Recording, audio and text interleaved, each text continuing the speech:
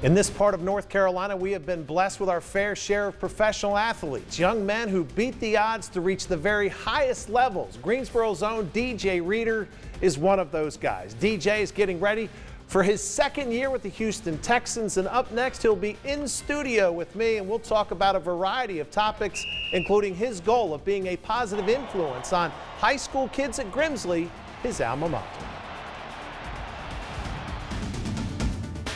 Now, Fox 8 Sports with Kevin Connolly. I'm happy to welcome former Grimsley star DJ Reader to Fox 8. DJ now a defensive tackle for the Houston Texans. Now, you'll be at the Greensboro Grasshoppers game tonight signing some autographs, but tomorrow you'll be at Grimsley High School. What's your message going to be to the kids tomorrow? Uh, you know, my message to the kids are going to be, you know, just stay positive, work hard, and how important school is. You know, school was my finance, my background, and that's what I really wanted to do. And it was good for me and helped me with recruiting. So school is really important. It's going to take you a long way.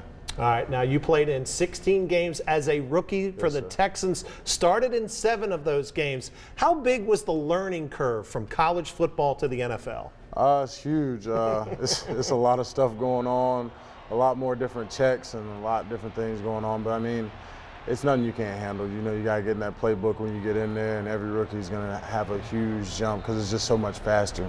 You're going to learn stuff, but everything's just so much quicker and goes so much faster. So it's it's a big adjustment. It's definitely a big adjustment. What would be your favorite memory from your first year in the NFL? I think my first start, my first start at home, just hear my name called when the defense and the smoke coming up and coming out that tunnel was just, it, I was in awe, and, you know, it was just a little bit of shock that, you know, I'm starting an NFL game, something I've been wanting to do since I was nine years old. I'm out there finally getting a chance to do it. So that, that was your aha moment? Yeah, aha moment, yeah. All right, now you enjoyed a great career at Clemson. You reached the national championship game mm. two years ago. You guys lost to Alabama, but you had a lot of close friends that were on the team last year that did win the national championship. What was the best part of playing at Clemson? Uh, just grinding with your boys. that summertime grind when nobody's there. It's just you and your teammates, and you're going to summer school classes. But you're in the morning every day up lifting with Joey B, our strength coach, and you're just you're just working on your game, and that's the best part about being at Clemson, especially during a time when no one's there. So I mean, you really got to lean on your brothers, and you grow that brotherhood, and that was the mm-hmm. best part about it. All right, very good. Now, I don't know if people know this or not. I want to show yeah. some video. But you were a really good baseball player. That was pretty good. Do you do you miss baseball? We got video of you. Go ahead. That's a home run at BB&T Ballpark in oh, yeah. Winston Salem.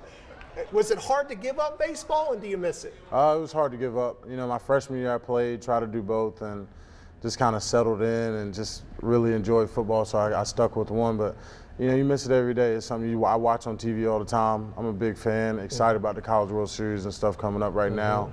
now. Um, my Yankees are doing good.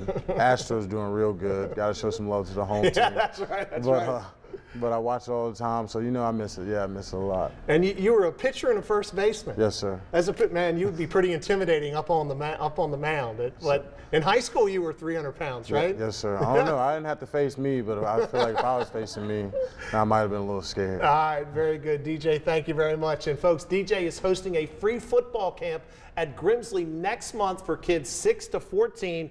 You can get all your information if you go to Total Camps totalcamps.com. Again, totalcamps.com for more information. DJ, man, we really appreciate you stopping by. Thank you for having me. Appreciate All right, it. good luck in that second year in the National Football League. Thank you. Thank All right, Dan.